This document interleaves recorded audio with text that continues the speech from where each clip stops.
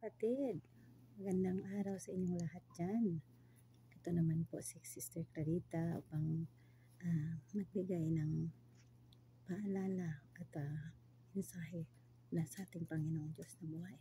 Pero bago tayo magpatuloy, tayo manalangin. Yes, Lord. Hallelujah, Jesus. Maraming salamat, Panginoon, sa araw na ito, Lord, na kami pinagpala mo, Lord. Hallelujah sa pagasing palakon ninyo noon sa umaga, Lord, kami pinagpala mo na Panginoon dahil hinayaan mo kaming muling maranasan ang panibagong araw na ito. Maraming salamat, Lord, sa lahat-lahat, Panginoon, at ikaw ang Diyos na manguna sa akin, Lord, upang maihatid ko, Panginoon, ang mensahe para sa mga taong nananalig ng palataya at uh, mga hindi nananampalataya, Panginoon. Yes, Lord, hallelujah. Bigyan mo siya lahat kami po, Lord, ng wisdom upang mara, malaman namin, Lord, maunawaan ang iyong banal na salita kung ano ang dapat mo pinahiwatig.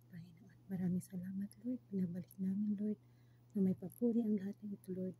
In Jesus' name, Amen and Amen.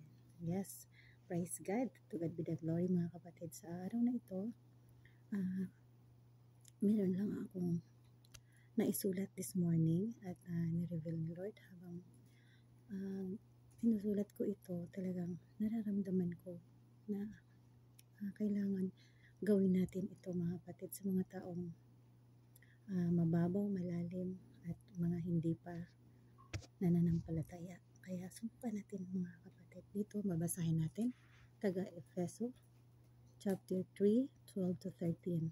Sinabi ng Diyos, dahil sa ating pakikipag-isa at pananalig sa Kanya, makalapit tayo sa Diyos ng may pagtitiwala at panatag ang loob. Praise God.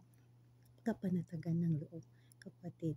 Kaya't hinihiling ko sa inyo na huwag kayong panghinaan ng loob dahil sa mga kahirapang tinitiis ko alang-alang sa inyo. Praise God. Hallelujah. Sapagkat ito'y para sa inyong ikararangal. So, sa verse na ito, makikita natin mga kapatid ang talagang Pinangako ng Diyos sa atin na kapag tayo lumapit sa Kanya, talagang makaranas tayo ng kapanatagan ng ating kalooban. Diba, sinabi niya dito na dahil sa ating pakipag-isa at pananalig sa Kanya, means nagtitiwala tayo sa Kanya. Kaya dapat huwag tayong matakot anuman ang mga tinitiis natin ngayon.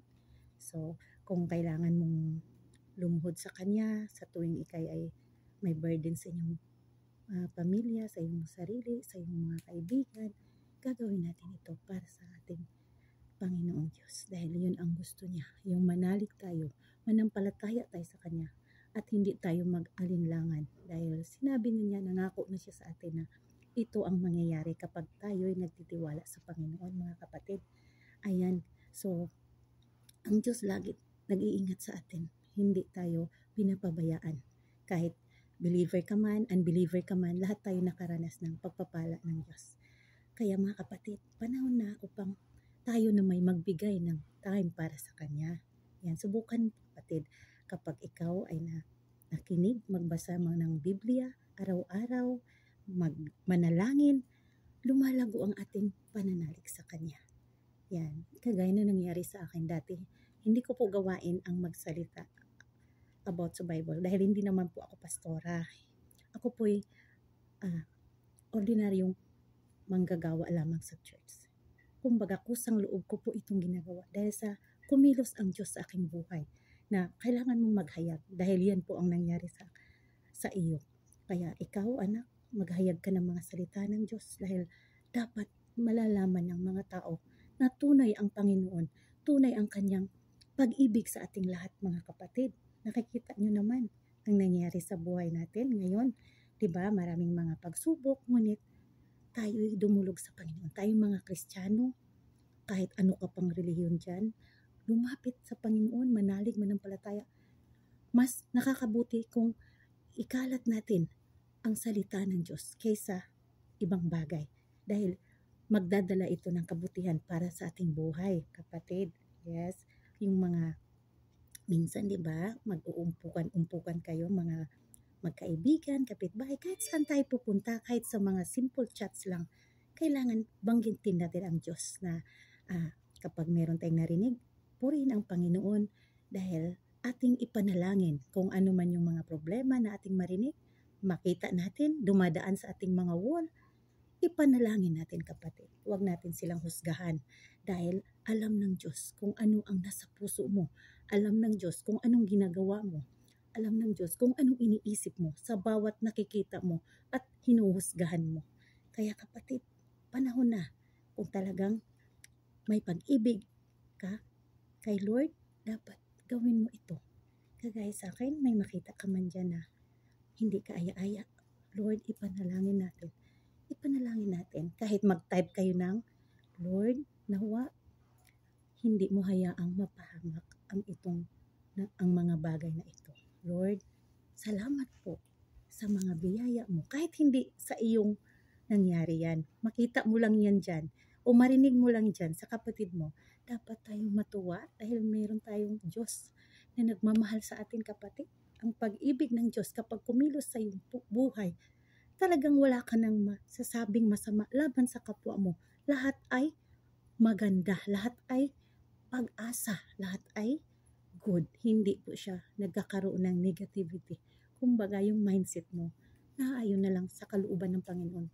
Kahit ano pa yung kasama ng isang tao, kapamilya mo, ipanalangin natin sa Panginoon. Hindi yan hahayaan ni Lord na tuloy-tuloy silang maging ganyan. Dahil may Diyos tayo. Tayo na nandito, tayo ang nakakaalam, ipanalangin natin.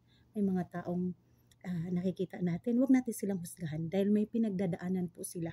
Kaya tayo mananalig tayo, tayo mananalig, tayo mananampalataya, tayong nakakaalam na ang Diyos ay kumikilos talaga sa taong tapat sa Kanya. Kaya sama-sama po tayong manalangin para sa mga kapatiran natin na nanligaw ng landas.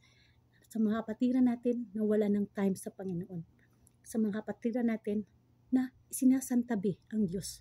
Tinatawag na lang kapag may okasyon. Ibig sabihin, hindi nagiging habit nila na manalangin. Kumbaga, may mga ibang tao, hindi tayo yon na talagang hindi na nila iniisip na uh, bigyan ng time si Lord dahil alam nila, sa isip nila, hindi yan magkakatotoo, hindi naman yan mangyayari. Kapatid, totoo ang Diyos. Kapag nanalig ka sa Kanya, totoong totoo kumikilos siya right now.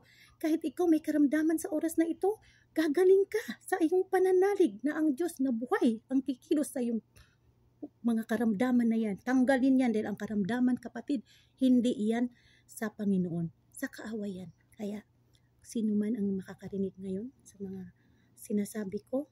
Kung ikaw may, may problema kapatid, kung ikaw may burden sa buhay, kung hindi ka nagtatanggumpay sa lahat mo mga plano, tayo manalangin. Yes, O oh God, hallelujah, Jesus. Yes, Lord, maraming salamat, Panginoon. Yes, O oh God, hallelujah. Pinupuri kita, Panginoon. Pinupuri ka namin, Lord. Sa lahat ng mga nanonood, Lord. Sa lahat ng mga nakikinig sa oras na ito, Panginoon na ikaw ang dakilang Diyos na naghimala sa lahat ng tao mula noon hanggang ngayon, Lord. Alam namin na nangyayari ang mga bagay na nangyayari noon, Panginoon. Yes, O oh God, kumilos ka sa aking buhay.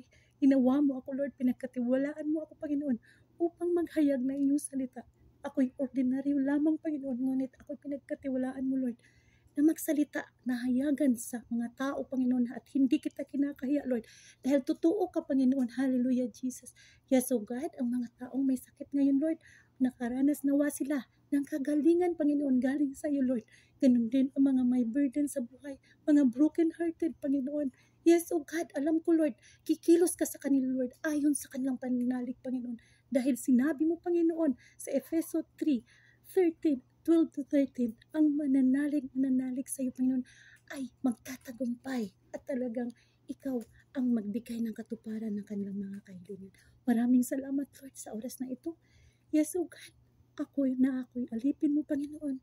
Ibinabalik ko, Lord, ang lahat ng papuri at biyaya, Panginoon, na binigay mo sa amin. Pagpapuri na walang kapantay, Lord. Hallelujah, Jesus. Pinabalik ko, Lord, na pinakamataas, Panginoon sa ngalan ng Ama, Anak at ng Espiritu Santo. Amen and Amen. To God be the glory. Maraming salamat kapatid sa nakikinig. God bless you po.